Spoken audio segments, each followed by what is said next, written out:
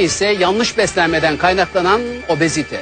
İşte ekibimizin uzmanlarca da desteklenen okul kantinlerindeki kanser tehlikesi ve obezite ile ilgili çarpıcı araştırması. Çocuklar obez oldu yani. Gerçekten obez oldu. Ben bakıyorum. Çocuklar bayağı irileşti. Çocuğun en çok tüketmiş olduğu şey patates sanmıştı. Günde ben burada 10 kilo patates var. Kilolarca kızartılmış patates. Hani yağının her gün değişmesi gerekiyormuş. Ve değişir. Kimse değişmiyor. Değiştirmez, mümkün değiştirmez.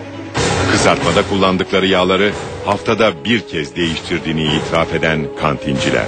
Ben haftalık değiştiriyorum.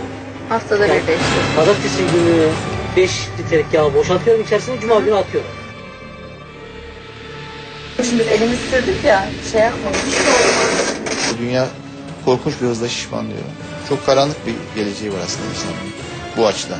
Okul kantinlerinde kol gezen kanser tehlikesi. Şişmanlıkla özellikle kanser riski arasında e, belirgin bir e, ilişki var. Ya onların demesine bakma ben üç günde bir Siz de değiştiriyorum. üç günde bir mi değiştiriyorsunuz? Milli Eğitim Bakanlığı Sağlık İşleri Dairesi Başkanlığı dengesiz beslenme ve çocuk obezitesine neden olan yiyeceklerin okul kantinlerinde satışını caydırmak amacıyla bir genelge yayınladı. Sağlık riski ve obeziteye sebep olan abur cubur yiyeceklerin, gazlı içeceklerin, kızartma ve cips satışlarının frenlenmesi amacıyla yayınlanan bu genelgeye acaba okul kantinlerinde ne kadar uyuluyor? Bu soruya cevap arayan Arena ekibi minik yavrularımızın beslenme ihtiyaçlarını karşıladıkları okul kantinlerini mercek altına aldı. Çeşitli semtlerdeki okulları kantin işletmecisi görünümünde gezen Arena elemanları İstanbul Ayazağa'daki bir ilköğretim okulunda.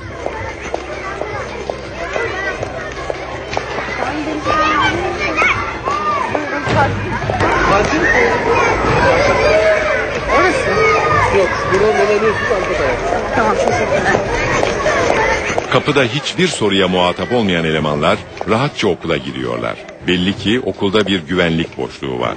Merhaba. Biz kantin içine girmeyi düşünüyoruz da. Doğruca kantine giden elemanlar işletmeciyle sohbete başlıyorlar. Siz ne kadar kira veriyorsunuz mesela? Buraya 3 milyar veriyoruz. Burada çok dışarıdan alışveriş yapan var. Dışarıya çıkabiliyor mu çocuklar? Tabii ki. Bekçiyi boşuna sokup koymuşlar oraya. Bir öğrenci gitmiş önceden. Araba çarpmış. O yüzden bekçiyi koymuşlar. Öyle dikilsin diye sokmuşlar. Ha, anladım. Elemanlar kantincinin ne kadar kazandığını ve yeni yasaklar hakkında bilgisi olup olmadığını öğrenmeye çalışıyorlar. Hamburger, kola, e, ondan sonra patates kızartması hepsi yasaklandı Evet, dediler. yasak. Hamburger yasak değil de patates kızartması, şeyler ya, cips falan Aha. onlar yasakmış. Niye yasaklamışlar peki?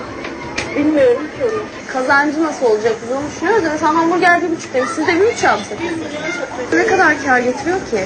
750 bin lira kar yapıyoruz. Bir tanesi 250 bin lira. Hamburger 250 bine mi geliyor? Tabii. Günde kaç hamburger satıyorsun? Şimdi 50 tane o paket var ya şu paket öyle yapıyorum. Evet, yanlış duymadınız. Maliyeti sadece 25 yeni kuruş olan hamburgerin okul kantinindeki satış fiyatı 1 YTL.